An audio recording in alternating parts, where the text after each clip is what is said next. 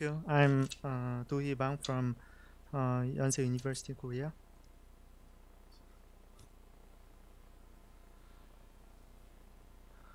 Okay, so uh, I'd like to present today uh, DNA synthesis using error-free uh, oligos uh, retrieved from uh, NGS flow cells.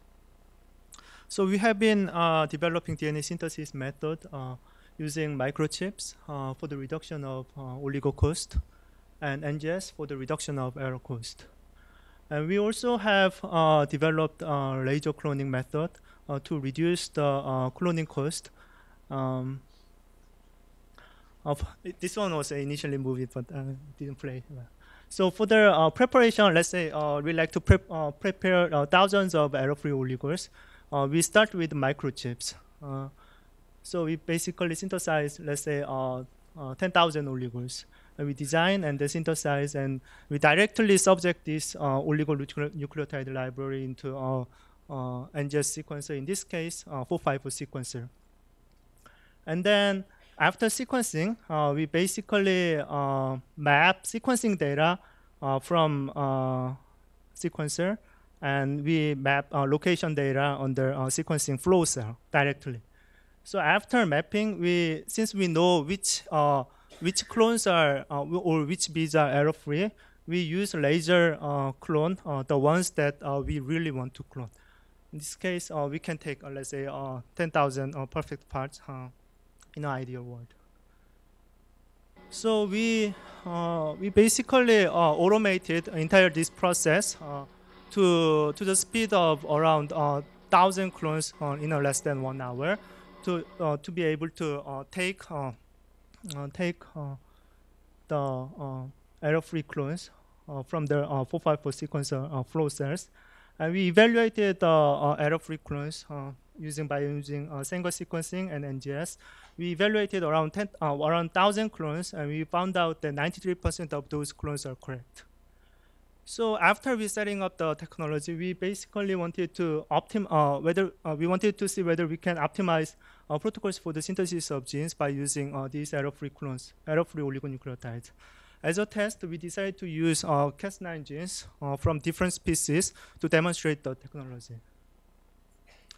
So when we started this project, we immediately uh, realized the challenge from uh, constructing using error-free oligos, such as although every oligo uh, under a microchip is essentially synthesized with the same ratio on the microarray for, at first, but after uh, after we um, amplify those microarray uh, library prior to subjecting to NGS, we will have amplification bias.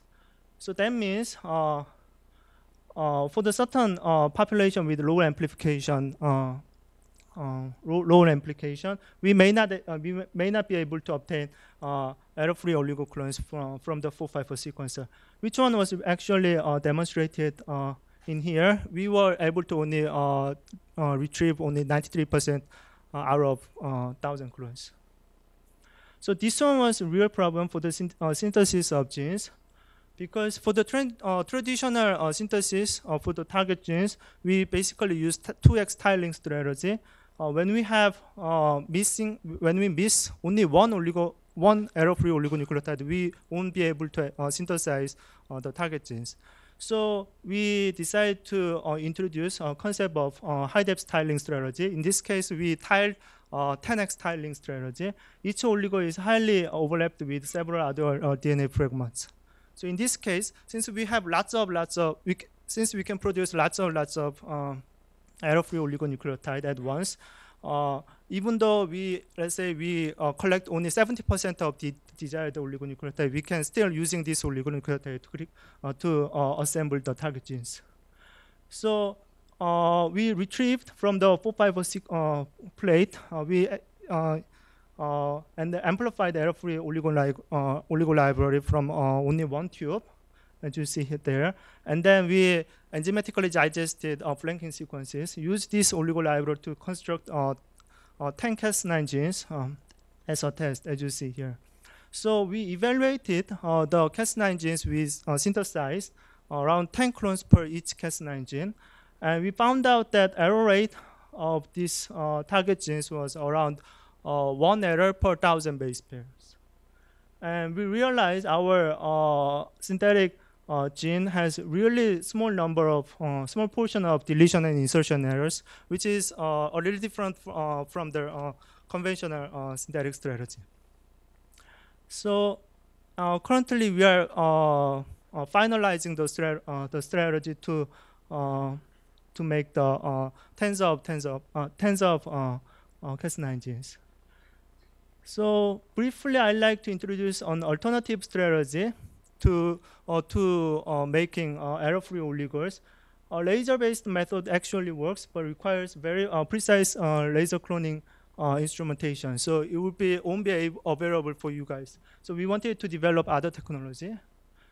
So the essence of the alternative DNA retrieval method is basically we make a sealing after NGS Illumina sequencing plate, and then we seal the NGS plate uh, sequencing uh, NGS flow cell. And prior to sealing, we put the uh, PCR amplification reagent and then seal it and then replicating replicating lib entire library for the collection of the ones that we want. So for the uh, briefly, the, we synthesize microchip oligonucleotide and barcode labeling for the primer amplification uh, purpose, and then NGS and sealing and preparation of the uh, and just replica pool and target DNA re retrieval process. We, we tested, we are currently testing this strategy. We, we, we are seeing the retrieval strategy uh, shows very high specificity. We were able to collect uh, over 95% of the target DNA clones uh, uh with uh, error, target uh, error-free clones. And then now we are also extending this strategy to synthesize genes in a, in, a, similar fashion uh, to, col uh, to collect error-free uh, genes. So with that, I'd like to summarize. We developed a selective DNA retrieval method utilizing laser cloning method or by PCR amplification of DNA replica pools.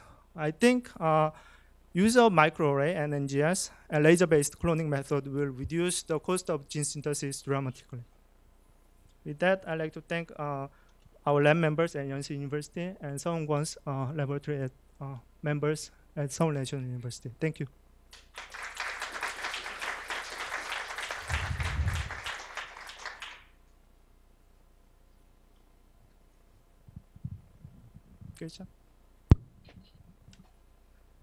Okay, if not, I, I'm I'm a little bit confused about the mechanics here.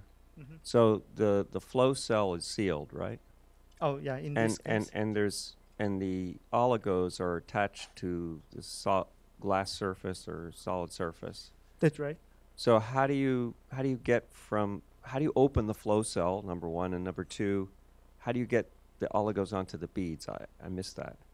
Okay, so uh, in this case, uh, basically uh, we use uh, Illumina flow cell. In on the Illumina flow cell, there is a little hole uh, for the injection of a liquid uh, for the sequencing uh, liquid. So basically, after we sequence, we take uh, the Illumina flow cell, and then we uh, get rid of all the uh, solution out of the flow cell, and then we inject the PCR reagent. And then we seal it by just using gum. and, and, and then we put those that, that flow cell into into just a bucket uh, controller, temperature controllable uh, uh, bucket or device, and then we do uh, three or four uh, cycles of PCR uh, reactions on that, and then we after get rid get, get rid of the sealing, which is gum, and then we take out the solution out of this flow cell, and then use those, and then we dilute as much as we can and as much we want, and then uh, take portion of those uh, diluted uh, solution, replicated from here uh, to subject to the uh, PCR reagent. And I, I, was actually talking about the first approach with the beads.